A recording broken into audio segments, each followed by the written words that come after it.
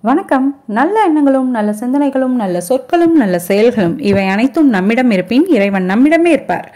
சோபனா தினேஷ் சேனலுக்கு உங்களை அன்புடன் வரவேற்கிறேன். இன்னைக்கு நம்ம பார்க்க போற பதிவு என்ன அப்படின்னா வீட்டில் பணம் நிறைய சேரணும். பணமழை பொழியணும். கடனே வாங்கக்கூடாது. அப்படி கடன் வாங்கியிருந்தாலும் அந்த கடனை கூடிய சீக்கிரம் அடைச்சிடணும். இதெல்லாம் நடக்கணும் அப்படின்னா ஒரு எளிமையான பரிகாரம் சொல்லுங்க அப்படின்னு நிறைய பேர் கேட்குறீங்க அதுக்கான பரிகாரம் கல்லுப்பை வைத்து நம்ம செய்ய போகிறோம் இரண்டு பரிகாரம் செய்ய போகிறோம் ஒன்று என்ன அப்படின்னா உப்பு ஜாடிக்கு கீழே நம்ம ஒரு பொருளை வைத்தா பணவரவு அதிகமாகும். இன்னொரு பரிகாரம் என்ன அப்படின்னா கல்லுப்பு இருக்கு இல்லையா? அந்த கல்லுப்பு ஜாடியில் நான் சொல்லக்கூடிய இந்த இரண்டு பொருட்களை சேர்த்து வைத்தீங்க அப்படின்னா கடன் பிரச்சனை அப்படின்றது உங்கள் வாழ்க்கையை விட்டே போயிடுங்க. இப்படி கடன் பிரச்சனைக்கு தீர்வு கொடுக்கக்கூடிய ஒரு பரிகாரமும் பணவரவை அதிகரிக்கக்கூடிய ஒரு பரிகாரமும் பார்க்க போறோம். இந்த பரிகாரம் ரொம்பவே எளிமையான பரிகாரங்க. இந்த பரிகாரத்துக்கு தேவையான பொருட்களும் விலை மலிவான எல்லாருக்கும் கிடைக்கக்கூடிய ஒரு பொருட்களை வைத்து தான் செய்ய போறோம். இந்த பரிகாரம் எப்படி செய்யணும் அப்படின்றத நம்ம வீடியோக்குள்ள போய் பார்க்கலாம். வீடியோக்குள்ள போய் பார்க்கறதுக்கு முன்னாடி என்னோட வீடியோ நீங்க ஃபர்ஸ்ட் டைம் பார்க்கறதா இருந்தாலோ இல்ல சப்ஸ்கிரைப் பண்ணாம பார்க்கறதா இருந்தாலோ சப்ஸ்கிரைப் பண்ணிக்கோங்க. பக்கத்திலேயே பெல் பட்டன் வரும். அதை நீங்க ப்ரெஸ் பண்ணிக்கிட்டீங்க அப்படின்னா நான் போடக்கூடிய இந்த மாதிரியான ஆன்மீக குறிப்புகளும் ஆன்மீக பரிகாரங்களும் உங்களை உடனுக்குடன் வந்து சேருங்க. இதை நீங்கள் மிஸ் பண்ணாமல் பார்த்து அந்த பரிகாரத்தை செய்து பலனை பெற முடியும். அதனால் மறக்காமல் சப்ஸ்கிரைப் பண்ணிக்கோங்க. இப்போ வாங்க நம்ம வீடியோக்குள்ளே போகலாம்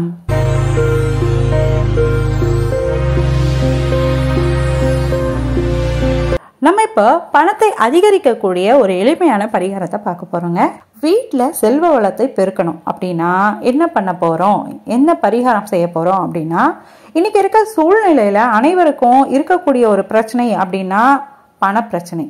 ஒவ்வொரு மனிதனுக்கும் அன்றாட தேவையை பூர்த்தி செய்வதற்கு பணம் அப்படின்றது மிக மிக அவசியமான ஒன்றாக இருக்குது கல்லுப்பை வைத்து செய்யக்கூடிய ஒரு பரிகாரம்.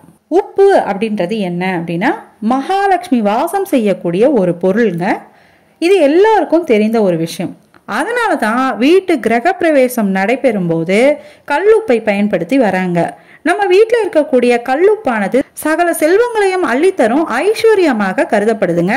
அதனால தான் நீங்கள் கல்லுப்பை வீட்டில் எப்படி பயன்படுத்துறீங்களோ அதை வைத்து வீட்டில் செல்வ வளமானது உண்டாகும் அப்படின்னு சொல்கிறாங்க கல்லுப்பு மகாலட்சுமியின் வடிவம் அப்படின்றதுனால இதை வீட்டில் குறையாம பார்த்துக்கணுங்க. எப்பொழுதும் வீட்டில் அது நிறைந்திருக்கிற மாதிரி பார்த்தோம் அப்படின்னா வீட்டில் செல்வம் குறையவே குறையாதுங்க. அதிகரிச்சுட்டே இருக்கும்.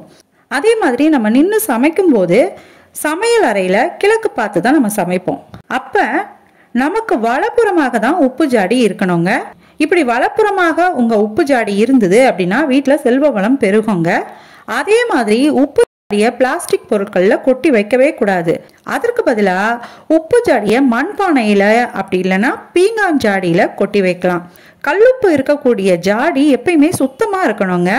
கல்லுப்பு ஜாடியை செவ்வாய் மற்றும் வெள்ளிக்கிழமைகளில் செய்யவே கூடாது. அதை ஞாபகத்தில் வச்சுக்கோங்க. அது மட்டும் இல்லாமல் உங்கள் வீட்டில் பணமழை பொழியணும் அப்படின்னா உப்பு ஜாடி வைக்கிற இடத்துல ஒரு ரூபாய் நாணயத்தை வைக்கணும். அதுக்கு மேலே தான் உப்பு ஜாடியை வைக்கணுங்க.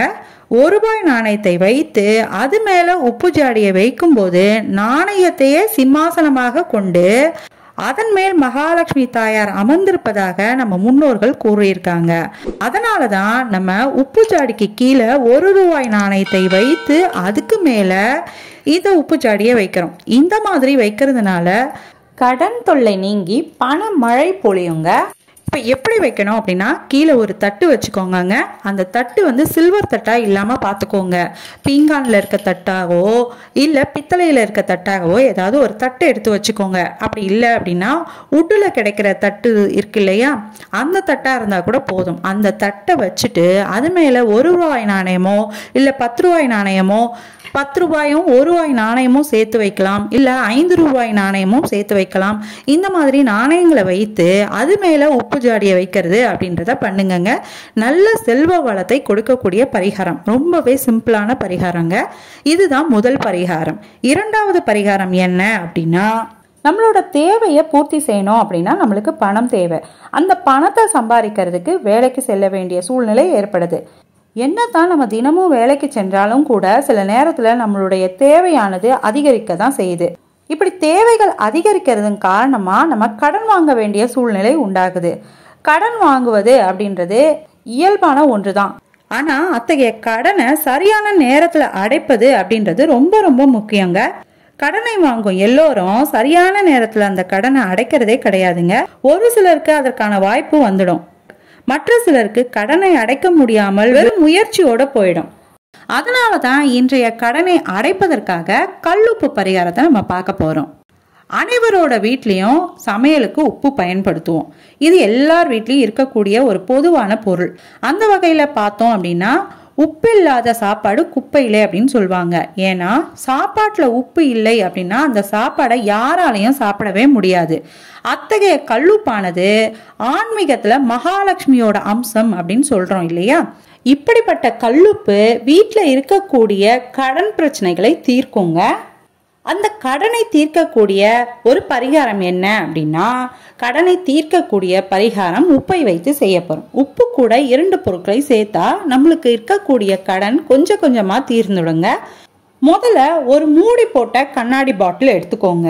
அதுக்கப்புறம் அந்த பாட்டில் அடியில் உப்பு கொஞ்சமாக சேர்த்துக்கோங்க. ஃபுல்லாக சேர்க்க வேண்டாம் கொஞ்சம் சேர்த்துக்கோங்க. அதுக்கப்புறம் அந்த பாட்டிலில் கல்லுப்புக்கு நடுவில் விரலி மஞ்சள் ஒன்று சேர்த்துக்கோங்க. அதுக்கு பக்கத்திலேயே அதாவது அந்த மஞ்சள் சொருவி இருந்தோம் இல்லையா? அதுக்கு பக்கத்துல இருக்கக்கூடிய இடத்துல பெயர் சொல்லாதது அப்படின்னு சொல்லுவோம். நாட்டு மருந்து கடைகளில் பெயர் சொல்லாதது அப்படின்னு சொன்னீங்க அப்படின்னா ஒரு பொருள் கொடுப்பாங்க. அதோட பெயர் வசம்புங்க அதை ஆறு மணிக்கு மேலே பெயர் சொல்லாததுன்னு சொல்லுவாங்க. மோஸ்ட்லி அதோட பெயரை சொல்லவே மாட்டாங்க. இப்படி சொல்லி நீங்கள் கேட்டீங்க அப்படின்னா அந்த வசம்பை கொடுப்பாங்க. அந்த வசம்பை இந்த உப்புக்கு நடுவில் சொருவிடுங்க. இப்போ உப்பு ஜாடியில் உப்புக்கு கூடவே விரலி மஞ்சளும் வசம்பையும் சேர்த்துருக்கோம். இப்போ அதுக்கு மேலே கடைசியாக கல்லுப்பை போட்டு அந்த பாட்டிலை நிரம்புறபடி செய்திருங்க. இப்போ அந்த பாட்டில் அந்த கண்ணாடி பாட்டில் இருக்குல்லையே அதை மூடி போட்டு மூடிடுங்க. இப்போ தயார் செய்திருக்க இந்த உப்பு தாந்திரிகத்தை உங்கள் வீட்டு பூஜை அறையிலையும் வைக்கலாம். அதாவது இந்த பாட்டில் இருக்கு இல்லையா நம்ம செய்த இந்த பரிகார பாட்டிலை பூஜை அறையில் வைத்து நீங்கள் வழிபாடு செய்யலாம். எப்படி செய்யணும் அப்படின்னா பூஜை அறையில் ஒரு இடத்துல வச்சிருங்க. விளக்கேற்றி பூஜை செய்யலாம். இது நாற்பத்தெட்டு நாளைக்கு அப்படியே வச்சுருங்க. இப்போ பூஜை அறையில் நாங்கள் வைக்க மாட்டோங்க. சமையல் அறையில் வைக்கலாமான்னு கேட்பீங்க சமையல் அறையிலையும் தாராளமாக வைக்கலாம்.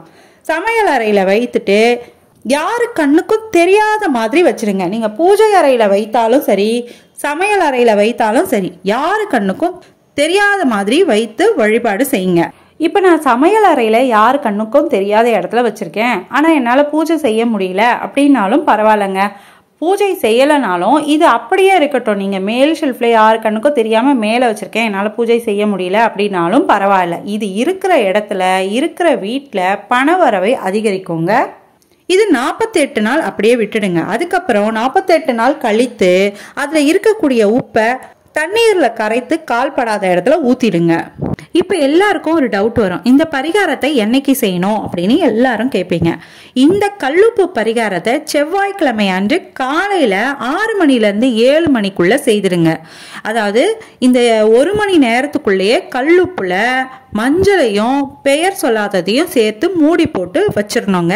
இந்த பரிகாரம் முழுமையாக இந்த ஒரு மணி நேரத்துக்குள்ளே செய்திருங்க செவ்வாய்க்கிழமை காலையில் ஆறு மணிலேருந்து ஏழு மணிக்குள்ளே செய்ய தவறிட்டீங்க அப்படின்னா வெள்ளிக்கிழமை ஆறு மணி காலையில் ஆறு மணிலேருந்து ஏழு மணிக்குள்ளே இந்த பரிகாரத்தை செய்திருங்க. இந்த பரிகாரம் செய்கிறதுனால உங்கள் வீட்டில் இருக்கக்கூடிய கண் நீங்குங்க. வீட்டில் இருக்கக்கூடிய தீராத கடன் பிரச்சனை அப்படின்றதும் தீர்ந்துடும். பணவரவு அதிகரிக்க தொடங்குங்க. மறக்காம இந்த பரிகாரத்தை செவ்வாயிலையும் வெள்ளிகளையும் செய்யுங்க. செய்துட்டு நாற்பத்தெட்டு நாள் அப்படியே வச்சிருங்க. நாற்பத்தெட்டு நாள் அதாவது ஒரு மண்டலம் கழித்து இதுக்குள்ளே இருக்கக்கூடிய அந்த உப்பை நீங்கள் கரைத்து ஊற்றிடுறீங்க கால்படாத இடத்துல ஊற்றிடுங்க அப்படி இல்லை அப்படின்னா சிங்கில் கரைச்சி ஊற்றிடுங்க அதுக்குள்ளே இருக்க மஞ்சளையும் பெயர் சொல்லாததையும் என்ன பண்ணணும் அப்படின்னா திரும்பவும் அதே மாதிரி அதே ப்ராசஸில் உப்பு போட்டுட்டு இதை ரெண்டையும் சொருவி திரும்பவும் உப்பு போட்டு ஃபுல்லாக நிரப்பி வெளியே தெரியாத மாதிரி மூடி போட்டு எடுத்து வச்சிருங்க. இது பாட்டுக்கு அப்படியே இருக்கட்டும். தொடர்ந்து செய்துவாங்க. இந்த மாதிரி நீங்கள் செய்யும்போது உங்களுக்கு பண வரவு எப்பொழுதும் இருந்து கொண்டே இருக்குங்க உங்கள் வீட்டில் கடன் அப்படின்றது ஒன்று வாங்க வேண்டிய சூழ்நிலையே ஏற்படாது. அதனால் இதை தொடர்ந்து செய்துவாங்க. யாரெல்லாம் இந்த ரெண்டு பரிகாரமும் செய்ய போறீங்க அப்படின்றத கீழே கமெண்ட்ல சொல்லுங்க. நான் தெரிஞ்சுக்கிறேன். இல்லை இந்த ரெண்டு பரிகாரத்துல ஒரு பரிகாரம் செய்கிறீங்க அப்படின்னா அது எந்த பரிகாரம் அப்படின்றதையும் கீழே கமெண்ட்ல சொல்லுங்க. நான் தெரிஞ்சுக்கிறேன்.